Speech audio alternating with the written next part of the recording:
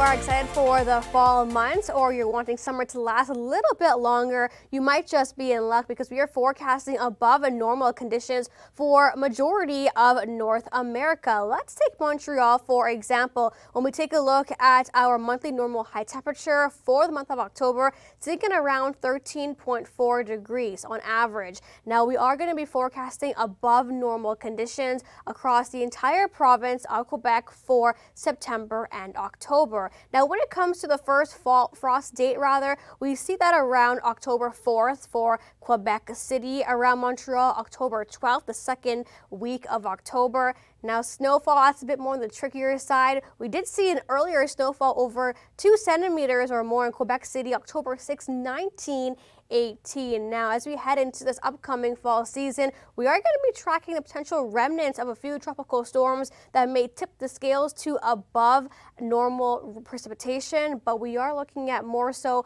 near normal precipitation across the majority of Quebec. Now, to recap, the above seasonal heat will make the fall months feel like summer at times, but overall, fewer fall storms. And as we head into the November, we could see potentially an early abrupt start to an early winter.